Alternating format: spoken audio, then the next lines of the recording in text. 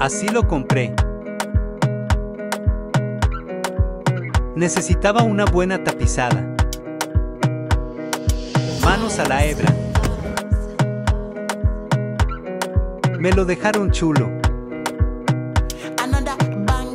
Bueno, bonito y barato. Dato en el primer comentario.